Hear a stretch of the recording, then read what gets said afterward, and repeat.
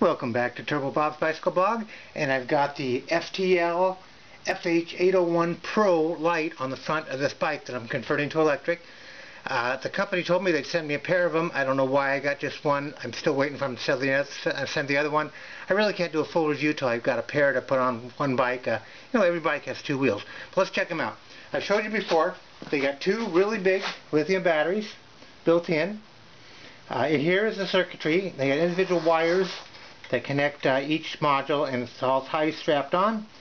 So underneath this cap, which screws off, is the uh, programmable memory card. Now what we got in there right now is the factory programming. So this shows that we got we're fully charged, a little bit of red, and we kind of go into that. Now let me shut the lights off. Now as you see, it's kind of cool, but once we get going, we're going to hit a, a pre-programmed deal in here, and it's kind of cool. And you can program videos. Get it going a little faster. You can program videos, uh, pictures, uh, you know, patterns, all kinds of stuff. Okay, so anyhow, so you get a pretty good look at it. Now I'll do plenty of videos uh, of this uh, with some bike riding when I do some programming and stuff. So over the next weeks or months, you'll see these on several bikes with different programming. It also has a gyro. If you notice the gesture going down a little bit, but once it, sensed where it was going on, it's got them straight ahead. So that's all built in.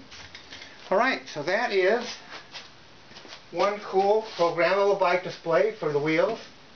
Like I say, I'm still expecting to get the second one. They promised me a second one for the review. And I won't really write up the review on it until I get the second one, but I'll be able to play with this. Now, I showed you before, too. It's the bike that I'm converting to electric with the uh, um, V5 Golden Pie motor from Luna. So there you go. That is the FL FTL FH801 Pro bike wheel display. Fully programmable. It comes with a, uh, on the card that you put in the computer, it's got like a USB thing that the mem micro memory card goes into. It has a programming oh, tutorial uh, that shows you, that moves the mouse around, what to do, what to push to program it and to enter the program into the uh, microcard and you can also let's say do a 30 seconds of one video animation 30 seconds of the next. You can set how long they last and they can switch from one to the another. You don't have to stick with the same one. I would imagine same with photos. So we'll see how it goes. But anyhow so let's uh, go ahead and turn it off. You just hold the button a couple seconds. Shuts off. So there you go. That's a really cool look.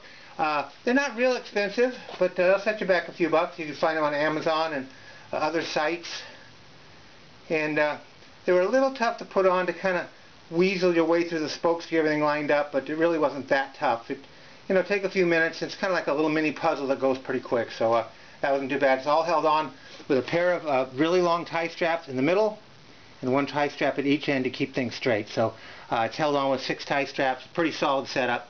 And also, I really, I think the, the, the manufacturer is really solid. The plastic's really solid, the wire hookups, everything really a high-end product uh, without a doubt. And if it works long in the long run, works good in the long run, even better. All right, well, thanks for following along. Turbo Bob's Bicycle Blog.